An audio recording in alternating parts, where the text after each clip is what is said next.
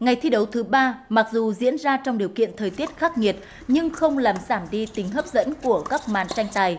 Nhiều nội dung đã kết thúc vòng loại và bước vào những trận bán kết chung kết để phân định thứ hạng.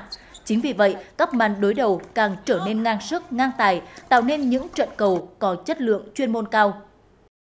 Các vận động viên cũng tương đối là đông đều và các cặp cũng tương đối mạnh và diễn ra với thời tiết cũng khá nắng nên là các vận động viên cũng rất là quyết tâm để đánh nhanh thắng nhanh để được nghỉ sớm và có thời gian để những trận sau nên là những trận đấu xảy ra rất là hấp dẫn. Cũng trong ngày thi đấu thứ ba, các cặp đôi bắt đầu bước vào vòng loại các nội dung hạng A tổng trình 1.450 điểm và nội dung hạng C tổng trình 1.390 điểm. Đây là những nội dung giành được sự quan tâm chờ đợi của người hâm mộ.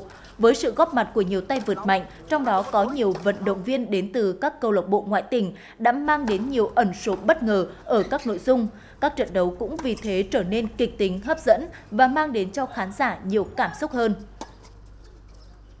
Lần đầu tiên tôi tham gia cái giải cúp ờ, truyền hình Hà Tĩnh thì đầu tiên là tôi thấy là à, bên à, cúp truyền hình Hà Tĩnh tổ chức rất là chuyên nghiệp, à, chất lượng chuyên môn của giải này rất là tốt ạ. Lúc nào cũng phải là căng sức lên để để để tập trung để đánh ờ, quyết tâm vào trong trận đấu. Qua ngày thi đấu, các nội dung thi đấu đến tận 12 giờ đêm 1 giờ sáng, chứng tỏ chất lượng ờ, các trận đấu rất cao.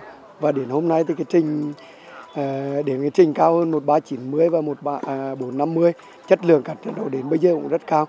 Gần như là các vận động viên rất là quyết liệt mà tranh giành từng điểm số 1 Tính đến hết ngày 27 tháng 4, 5 trong số 8 nội dung thi đấu của giải đã hoàn thành các vòng đấu và đã xác định được vị trí thứ hạng của các cặp đôi. Ngày 28 tháng 4, các vận động viên sẽ bước vào ngày thi đấu cuối với nội dung đôi nam nữ, nội dung hạng B tổng trình 1.420 điểm và nội dung ngoại hạng. Trong đó tâm điểm là những màn so tài ở các trận cầu ngoại hạng.